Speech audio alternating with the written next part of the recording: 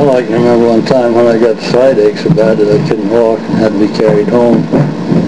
My father got our neighbor and a relation, Carlos Lyman, to come over and administer to me, and it was just still a matter of a few minutes, 15, 20 minutes until everything was okay.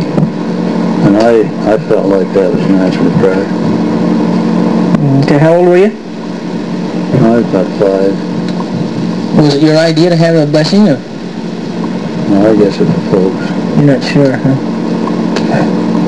Mhm. What were you doing then? What are we doing? Yeah, do you remember what you were doing? We'd been up to Grandpa Christensen's home and was, was uh, going back home down through the square there, walking, kind of running. It was dark, getting dark. So we was in a hurry to get home. I guess that's what got wrong. Running too soon after we'd eaten or something. Was that Uncle Edward's father, or who's that? That's Uncle Edward. That's my mother's father. Your mother's father, sure. And the uncle was Uncle Willard or Uncle Albert, one of them. It's kind of funny I'd say Uncle Edward's, because I, I would think of Grandma Car- Christensen maybe if I'd known her, but I never did, of course, know her, so. Got to get my genealogy thinking, you know. Well, uh, some of the most important things that happened, I, uh, it's been carried, carried through and it's very important then and now is the times that uh, my father took us kids up to the tithing center to visit with the bishop. Mother was sick quite a bit of the time and so she couldn't, uh, couldn't go, but he'd take the two or three of us or four us, whatever was there, and uh, go up and visit with the bishop a few minutes and pay him our little tithing. I just got into the habit of doing that, and that's a habit that stayed right with me, and I really appreciate it. Were you paying uh, money all the time then? I suppose you were. On what, I'd, I'd have a little garden there, you know, a few rows or something, or a sheep, and had a fleece that sell or something on that order. Your your your dad, my grandpa, was pretty uh, insistent or anxious that tithing be paid, huh? You, you believe in it too, you bet. And the thing that I appreciated, he took enough time to go up there with us each year tithing season. This is you're talking about Manny Oak City, huh? This is Oak City. Do you remember who the bishop was mainly, or was it several bishops you're thinking about, or none? No bishop. J. A. Anderson. Okay. All right. let's see. Let's go to. Uh, uh, as a little boy, then still, what stands out is maybe is a persistent kind of goal, or maybe the most persistent kind of goal that you had uh, relating to when you became an adult. Do you remember anything that you thought about as a young boy that you thought you might want to do?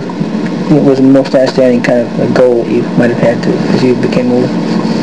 Well, I was always interested in in livestock and in uh, farming, and that was the thing that was uppermost in my mind. And uh, getting the education I got, and as soon as we started anticipating getting married, even before when I graduated from high school, started to looking for a farm. So that was one of the things I had in mind. And of course, I always figured on going to church. That was quite important. Do you feel like, uh, as an adult, you you know you've done pretty well as far as getting your farm all paid for and everything, raising a family? Do you feel uh, that that was uh, a worthy goal in as uh, one of your major goals to to be a, a good farmer then and obtain land and pay for it? I don't know if anything could have been better. It's an ideal place to raise a family because two or three reasons. There's always something for each one to do and you can pretty well line it out so that each one knows what the responsibility is. And maybe having to milk cows, maybe that was an incentive for some of you to get an education. Yeah, that might be. Okay, can you uh, recall anything specific about when you gained or when you thought you might have gained a, a testimony of the gospel and uh, what you think might have been the most influential factor in that? I, I believe that a very important time in my life was when I, I think I was 11 years old, when my mother died. And uh, I did some pretty serious thinking about that time.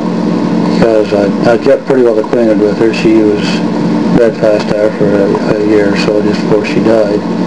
And uh, of course I hadn't thought anything about that there was a possibility she'd die or anything like that. And when she did, I just didn't hardly figure that was possible that something like that, that, the, that our Father in heaven allow something like that to happen. And so I had to do a little thinking and a little rearranging, and was probably one of the first major challenges that, that came to me is to uh, get myself adjusted to that, uh, that that actually did happen, and that's part of the plan and that there wasn't anything that was bad or anything like that. It was just part of the program, and, and uh, I kind of got the idea there that there's certain things that you just had to to outlive or to, you know, to just overcome the feelings you might have right to start out with.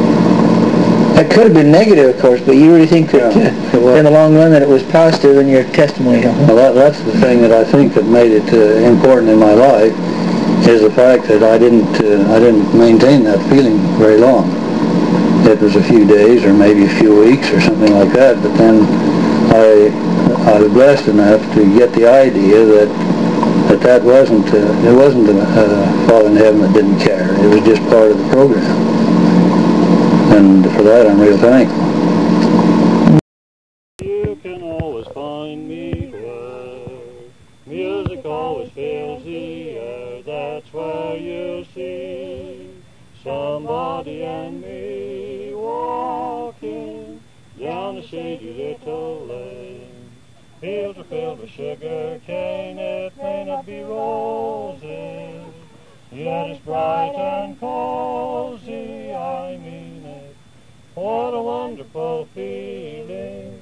More than I can explain. When I'm walking with my sugar down among the sugar cane, little stars are winking, winking down at us from above. We know what they're thinking. While we're making love, they're jealous. Their beauties all kissing, more than I can explain when I'm walking with my sweetheart down among the sugar cane. Sweet as sugar, precious baby, down among the sugar cane. Hey, Sheldon. We're going to be much longer. We're going to be very long.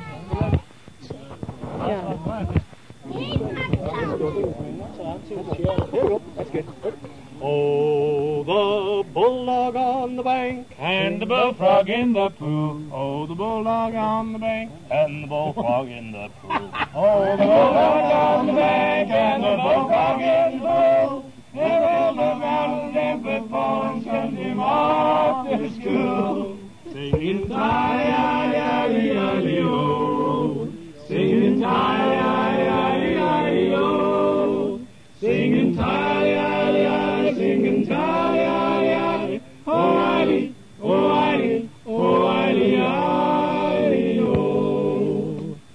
The monkey to the owl, Oh, what'll you have to drink? Said the monkey to the owl, Oh, what'll you have to drink? Oh, the monkey to the owl, Oh, what'll you have to drink? Oh, since you are so very kind, I'll take a bottle of ink. Singing tie yaddy yaddy yaddy oh, singing tie